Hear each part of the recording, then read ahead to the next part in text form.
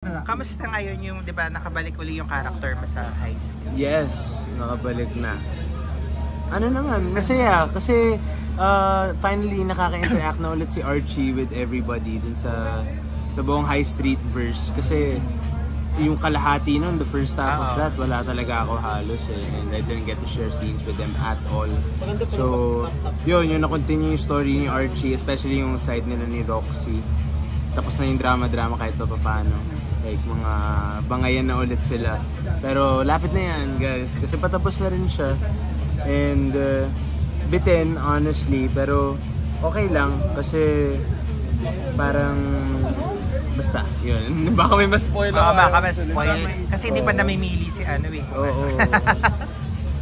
And then, um, finally, ito, nakapag, ano, is this your, ano ba, parang first time na kinanta yung mga songs mo sa... Hindi naman. Ah, pang fourth yata o pang fifth. Mm. Well, kinakanta ko siya sa mga mall show na kilala kita. Kilala kita lang. Mall show, tsaka mga fiestas, gano'n. Or mga special performances. So, mga ilang beses na rin. Pero, first time sa Poblacion. First time sa Ugly Duck, which is a place I go to and enjoy music. So, ano naman, like, special din siya sa akin. Kasi, yun nga, sa space. Tapos, ah, para kay Kaki pa, na kasama ko nga sa Edge of Ano yung mga kinanta mo kanina? Yung ano, para sa, sa buong EP ko, yung first song, uh, Oras Mo Na Raw, second song, Asartalo, which is already out on all streaming platforms. Tapos yung, uh, ano yung sunod ko kinita, Love Song, which is coming out on August 23. Abangan nyo na lang. Uh, on all streaming platforms is my live performance video din yun that we're really excited to share din. Tapos, uh, ano yung sunod ko? Joseph K, which is coming out with the EP on October. Tapos yung Kilala Kita nga, which is already out na 1 million streams na and over. So, thankful for that. Lahat ba yun, um, may composer or may nag, nagsulat? Ako lahat. Ah, Ako ikaw lahat. Yes, yes. So, can you share lang yung mga, ah, ilan doon na, ay yung inspiration ng kanta na yun? Iba-iba eh. Mm. Iba-iba syempre. Pero madalas like, kung anong trip ko lang at the time na susulat ko siya. Kasi matagal-tagal din magsulat ng kanta. Sometimes, pinakababa ko one month. Yan, ganun. So, chill naman. Pero, iba-iba nga yung kailangan gawin. And uh, iba-iba yung gusto kong trip minsan na kwento. Kaya, iba-iba. Iba-iba yung inspirasyon. Ang tagal kapag isa-isahin ko eh. Pero, given naman sa song, like makikita naman sa song na very personal nga siya. And lahat siya like represents my personality. Kahit hindi man yung pagkatao ko, just a personality thing. Pero yung melody, ikaw din nag or may Yes, yes. Ah, pati- yung melody ako din, pero yung beat, yung drums, may producer ako, si Obi, yung DJ ko rin kanina. Uh, artist din siya, name niya Cavill, napakahusay niya. And uh, parang kami magkapatid na ngayon din dahil tagal na rin namin ginagawa ito, mga 2 years na. Yun, enjoy. Yun, ah, can you tell briefly, yung sa sinushoot mo na movie ngayon, yung Edcho, Yes, uh, lapit, lapit-lapit na rin kami. I mean, not really, pero uh, madami na kami na shoot and we're excited. Ako, hindi kasi ako nanonood ng playback, so hindi ko talaga alam kung anong itsura niya or kung okay ba yung ginagawa ko. Hindi ko talaga alam. Basta I know that everybody's doing their best sa set. Uh, and uh, grabe yung tiwala ko sa buong team. And alam kong grabe yung paghihirap ng bawat isa sa team. Kaya uh, tiwala lang ako. And excited ako mapanood siya mismo myself. And uh, dami kasi, dami kasi ginagawa ngayon kaya hindi namin matapos eh. Nagsisingit-singit lang ng schedule. Pero matatapos din siya. For sure. sinong ano, director niya? Katsuki Flores, si Direk Katsuki Flores. So, And you're working with Jody. Yes, yes. So how was it working with Miss Jody? Ayoko kasi pag sinabi ko spoiler siya. Kasi kung Ah. titignan niyo yung, ka- yung roles namin, hindi talaga ako pwede magsabi kamusta yung mga Okay. Kasi an Ginawa namin. Magkasama ba kayo? Tama. Nagkasama ba kami? Or part. Baka. I mean yung role. Hindi ko alam. ata. Hindi pa pwedeng ano, kasi. Hindi, kasi history naman si Based Edjo. naman- Oo, si Oo. Based on history alam ko nanonood ka direct. I'm doing you proud. Promise.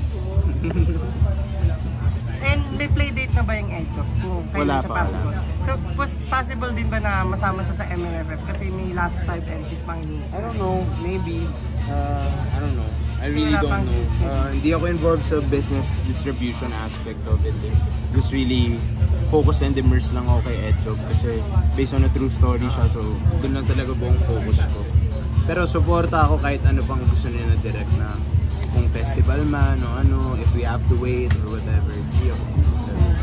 And about naman din sa High Street, ah, what's your reaction na matindi yung laban din with Vidos War and marami nagsasabi Ah, nga na sobrang yun nga natatalo daw yung ratings. Actually, tapos na kasi kami mag-shoot. So, Oo. at this point, like, tapos, tapos na kami Oo. lahat. And uh, na-enjoy naman siguro ng team yung yung, ano, proseso na magkakasama kami lahat.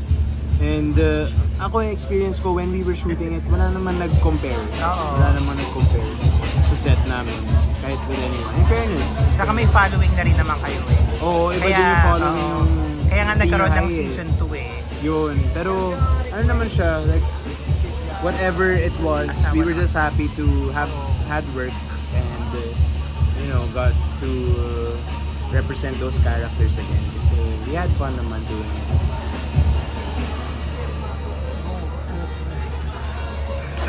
ano guys?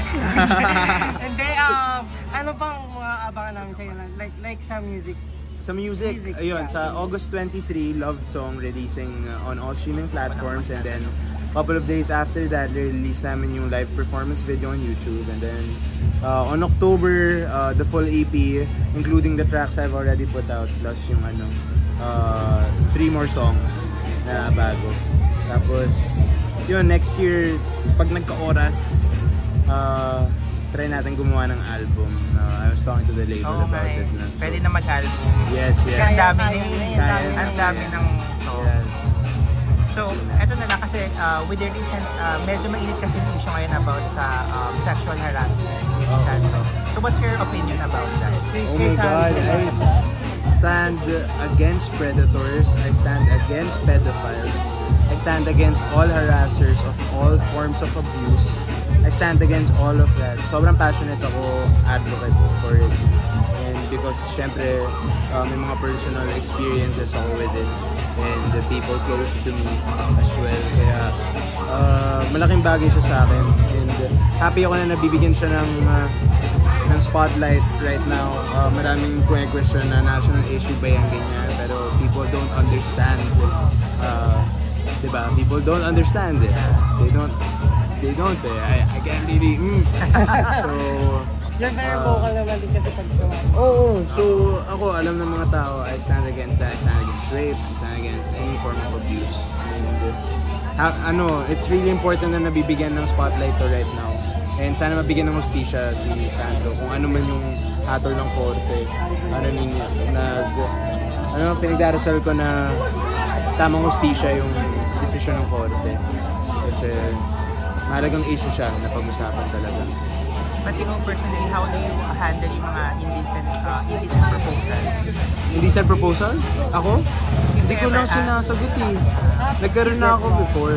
Hindi lang naman, yun lang naman, wag mo na sagutin. Steps. Di ba? Ayan, uh, invite mo na everyone to your project sa High Street and. Alam mo, gusto ko lang sabihin na exciting yung mga pelikulang gagawin natin. Upcoming. So, salamat guys sa lahat ng sumusuporta sa akin dyan. Sa lahat na nagmamahal at patuloy na nanonood or sumusuporta sa kung ano mang ginagawa ko. Ma maging uh, film ba yan o sa musika. Maraming salamat guys. And yun, abangan nyo na lang. August 23, yun yung pinakamalapit na. And High Street na malapit na rin matapos. Uh, ano ba? Parang yun pa lang naman. Like right now, lahat, I'm about to shoot pa lang eh. So, I'm excited. Ah, Sunshine got in Toronto. Kasama ka ba? Kasama ako doon. Fun yung role ko doon kahit saglit. So, excited. Mag-ano kayo mag-premiere sa Toronto? Oo nga, hindi, gusto ko sana pumunta. Kaso, may shoot ako eh. Sakto sa Project 8 din. So, Ah, di ba, parang chillax lang. Okay lang naman. But Basta good problem sa may supporting Maris naman. You're supporting Maris Sa... with uh, Sunshine.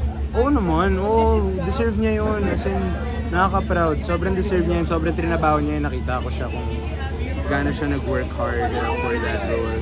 And uh, she deserves it. I'm glad. Hindi ko alam kung makakapunta siya though, pero sana, sana makapunta siya. Magandang experience din yan. Any message na sa lahat ng nagmamahal sa inyo ni Miles? Nakikita yung Salamat. dalawa. Salamat sa lahat na nagmamahal at sumusuporta sa amin kami. Uh, na-appreciate namin yan dahil pareho kami busy at you know, umugot na lang kami ng lakas kung saan saan. Kaya maraming salamat. Yeah, looking good together na lagi kayo magkasama. Thank you. Thank you. Thank you so Thank you much. guys.